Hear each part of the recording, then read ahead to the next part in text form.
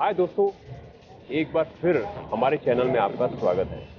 आपके लिए लेकर आया फिर एक बार मोटरसाइकिल के बारे में जब अचानक बंद पड़ जाती है। जैसा कि आपको पता है, आजकल बरसात का सीज़न है।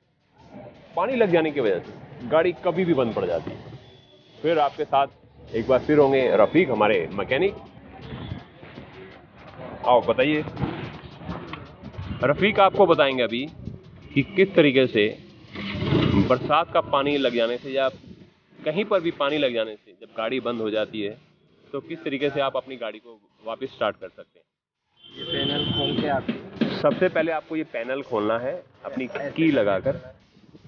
ये देख रहे हैं आप इस तरीके से आपको आपका पैनल खोलना है। ये खुल गया आपका पैनल पेट्रोल बंद कर देना है। और आपको पेट्रोल को बंद करना है सबसे पहले। सेंटर में। ये देखिए ये पेट्रोल को सेंटर में करके उन्होंने बंद कर दिया है।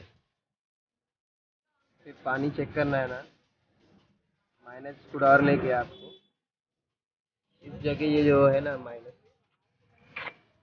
तो उसको खोलना है। एक